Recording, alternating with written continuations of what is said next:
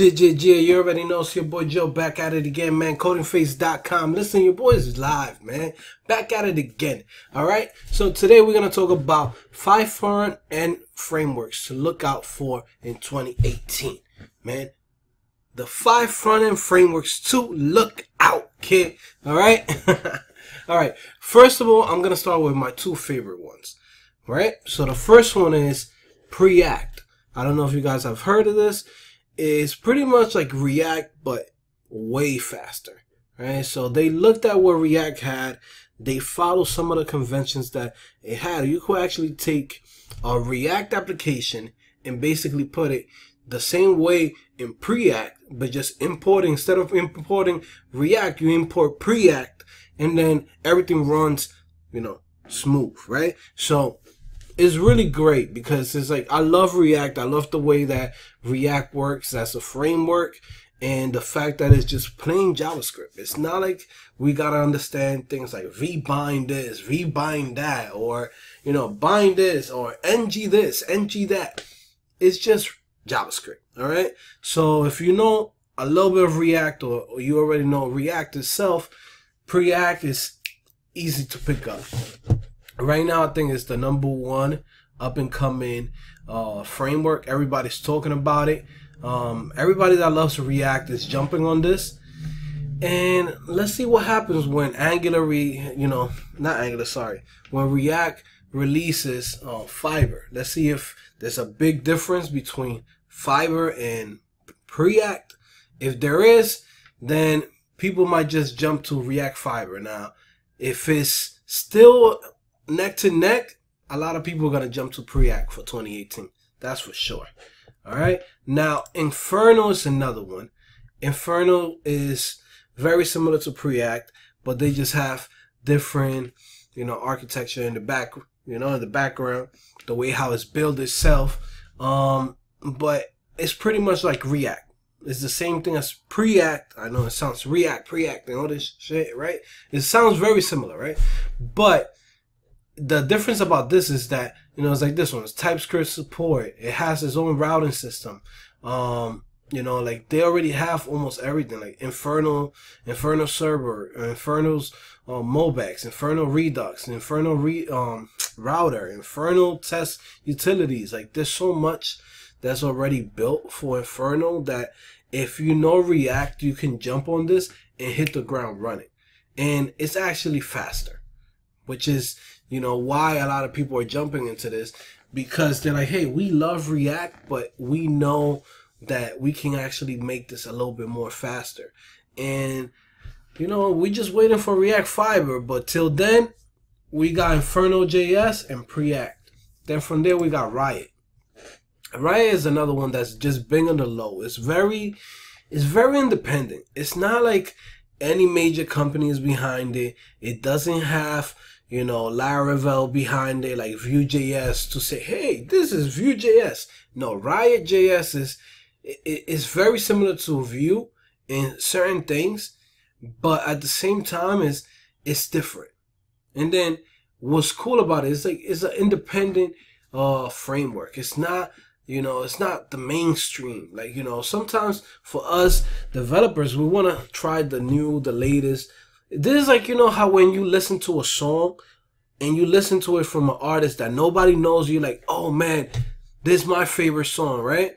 But then once everybody start using it, you're like, oh man, I hate that artist, man. Now he's popular, this and that. That's pretty much where we um Riot is at right now, right? Because it's like it's very independent right now. It's very underground.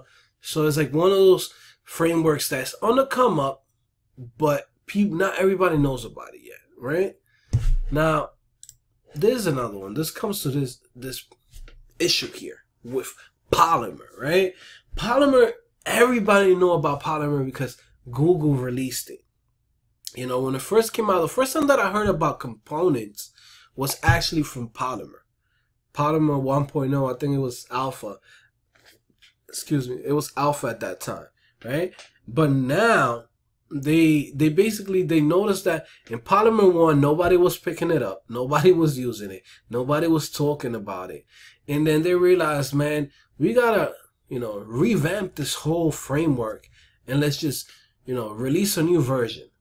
Still, uh, with a lot of the the code from Polymer One, but now it's updated. It's, it's more in the sense of like how React came out, right? So as you can see, Angular, uh, Vue.js, um, who else? There's a million different frameworks that all switched up to the component model, how React did it. And then Polymer is no different. They're pretty much taking some of it and then creating it in their own way. But it's pretty cool. I really enjoy Polymer. I think it has its own its own fan base.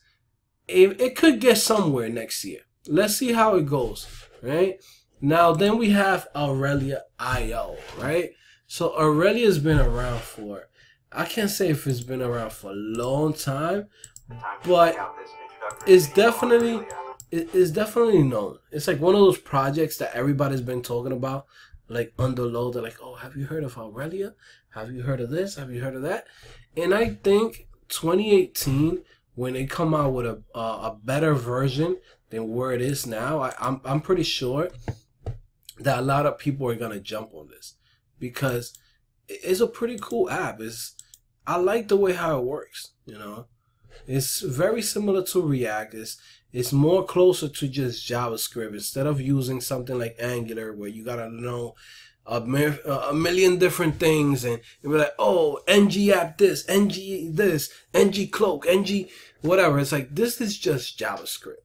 If you know JavaScript, you're going to be fine with this framework. So this is why I like it. Uh, I don't know if you guys have checked out your boy, um, your boy Eric. Sorry, sorry, I'm trying to remember everything that I wanted to say in this video. But your boy Eric, he he has a pretty good tutorials on Aurelia. He's one of the people that have been using Aurelia for a while. If you guys don't know who he is, he's on my on my YouTube channel. Check him out, Eric Hanchett. He's pretty legit, man. He's a pretty legit developer. Check him out. He got tutorials on Aurelia. You know, he's one of the people that um, I looked up for actually, you know, when it comes to Aurelia uh, tutorials, he got some legit ones. But yeah, man, those are my top five picks, right? This is my top five picks for 2018, the up and coming frameworks. Now, who do I think is gonna win out of all of this five? Uh, it's between Preact and Inferno. That's for sure. You know, these are the ones that have the biggest fan base. These are the ones that everybody's talking about. These are the ones that everybody wants to be using. All right. So if you want to be ahead of the curve and you want to say, hey, I want to join the cool kids, then you got Preact and Inferno, guys. All right. So make sure you subscribe. Make sure you like this video. I'm actually going to put in the list right on codingphase.com. I'm going to put the link to it right here, right below on the description somewhere. I don't know. It should be like somewhere down there, right? So, yeah. Make sure you subscribe to the kid. Make sure you like this video. You already know it's your boy Joe back at it again. CodingPhase.com. Bow.